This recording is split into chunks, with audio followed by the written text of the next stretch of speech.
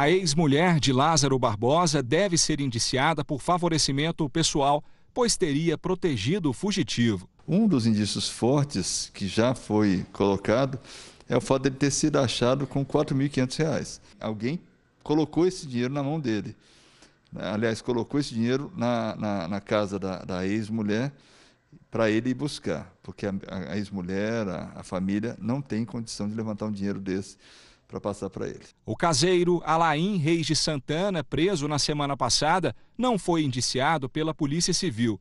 Segundo o delegado, Alain colaborou com a investigação, ao contrário de seu patrão, o fazendeiro Elmi Evangelista, que tentava a todo custo atrapalhar as buscas por Lázaro.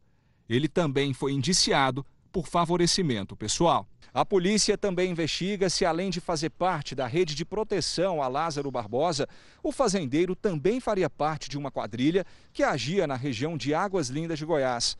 O esquema criminoso envolvendo a disputa por terras seria o verdadeiro motivo da chacina da família Vidal. E por isso mais pessoas estão sendo investigadas. Para chegar aos possíveis envolvidos, Todos os contratos de compra e venda de terras da região estão sendo analisados pela polícia. Chamou a atenção a quantidade de imóveis abandonados na zona rural.